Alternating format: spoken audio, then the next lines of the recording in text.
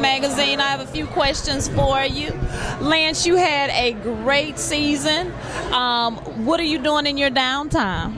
Uh, well, basically, right now, just kind of doing a little bit of relaxing, trying to get my body healthy and everything, and uh, doing a little traveling, trying to keep my mind off of football. I can definitely understand that. So, where are you traveling? Do you have any special destinations or anything? It seems like you're a real cultural person. Well, yeah, I mean, I'm, I'm actually looking forward to a trip that we're taking over to Spain, um, to to Ibiza, and um, you know, that's, that's not for a couple months, but that's that's what I'm looking forward to.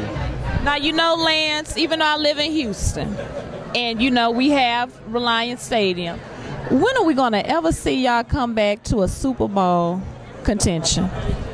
Next year. Okay. We, next year. yeah, absolutely. I heard it first. Lance said next year the Saints are going to be Super Bowl contenders.